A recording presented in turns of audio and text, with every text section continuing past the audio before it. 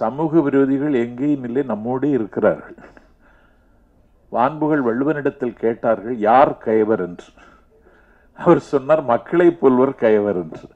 மக்களை மாதிரி தான் இருப்பாங்க அவனுன்னார் அதனை இந்த உலகம் தவறாக புரிந்து கொள்கிறது ஆறாயிரம் மைல்கள் நடந்தான் பத்து லட்சம் குடிசைவாசிகளின் கையில் ஆயுதத்தை கொடுத்தான். ஒரு ஷியாங் சேக்கனுடைய சாம்ராஜ்யத்தை முடிவு கட்டுவதற்காக முடிவில்லாத போருக்கு நாள் குறித்து கொண்டு ஆறாயிரம் மைல்கள் மாவோ நடந்தார். அவர் நடந்து வருகிற பயணத்தில் அவர் பெற்றெடுத்த பிள்ளை இறந்து போனான் என்ற ஈரச் செய்தி வந்ததற்கு பிறகு தூக்கி தூர போட்டுவிட்டு நடந்து வாருங்கள் என்று அவன் தன்னுடைய சகாக்களுக்கு கட்டளையிட்டான்.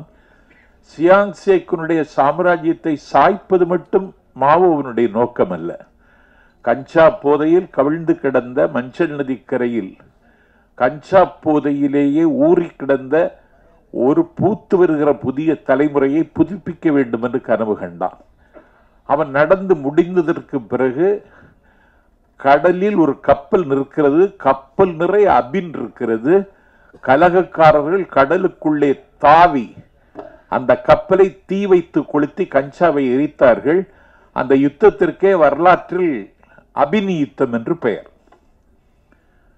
ஆனால் இந்த மாவோன்னு பேரை சொன்னாலே இன்னைக்கு தீவிரவாதியாக பார்க்கிறான். என்ன பார்வை இது? வரலாறே தெரியாத தற்குறிகள் மாவோ பேரை சொன்னாலே ஆபத்தானவர் என்று அவரையே கருது பார்க்கிறார்கள்.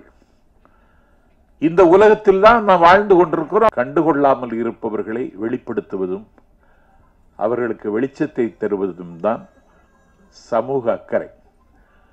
சமூக விரோதிகள் நம்மிடந்து தான் உருவாகிறார்கள். சமூக விரோதிகளுக்கு யாரோ உதவியாக இருக்கிறார்கள். யாரையும் குற்றம் சாட்டுவதாக கருதக்கூடாது. டிஜிபி மோகன்தாஸ் மக்கள் தலைகை எம்ஜிஆர் முதலமைச்சராக இருக்கும்போது அவர் டிஜிபி காவல் துறையில் பணியாற்றுகிற காவலர்கள் சங்கம் வைக்க வேண்டும் என்று போராடினார்கள். அந்த போராட்டத்தில் காவல்துறை போராட்டத்தை ஒடுக்குவதற்கு எம்ஜிஆர் அதிகாரத்தை பயன்படுத்தினார். காவல்துறையை இல்லாத சூழலில் தமிழ்நாட்டில் சட்டம் ஒழுங்கை பரிபாலிக்க இந்திய ராணுவத்தை தமிழ்நாட்டுக்கு வரவழைத்து அன்றைக்கு சட்டம் ஒழுங்கை எம்ஜிஆர் பேணினார். ஒரு மாத காலம் காவலர்கள் சிறையில் இருந்தார்கள். மாசந்தோறும் ஒரு ஃபைல் வரும் முதலமைச்சருக்கு. ஒவ்வொரு மாவட்டத்திலேருந்து எஸ்பி அனுப்பணும்.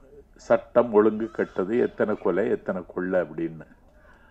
அந்த ஃபைல் இந்த ஒரு மாத காலம் காவலர்கள் சிறையில் இருந்த காலத்தில் ஒரு மாதம் முடிந்ததற்கு பிறகு ஃபைல் எம்ஜிஆர்கிட்ட வந்தது. கொலையும் கொள்ளையும் நடக்காமல் இருந்த ஒரு மாதம் அவர்கள் சிறையில் இருந்த மாதம் தான் அப்படின்னு நான் சொல்லலை. டிஜிபி மோகன்தாஸ் புத்தகத்திலே எழுதியிருக்கிறார். அதனால ஆமா. சமூக விரோதிகள் நம்மிலேயே இருக்கிறார்கள். இதுல வெண்ணைக்கும் சுண்ணாம்புக்கும் வித்தியாசம் தெரியாதவர்கள் பச்சை கொடிக்கும் பச்சை பாம்புக்கும் வித்தியாசம் தெரியாத சமூகம் என்ற சமூகம்.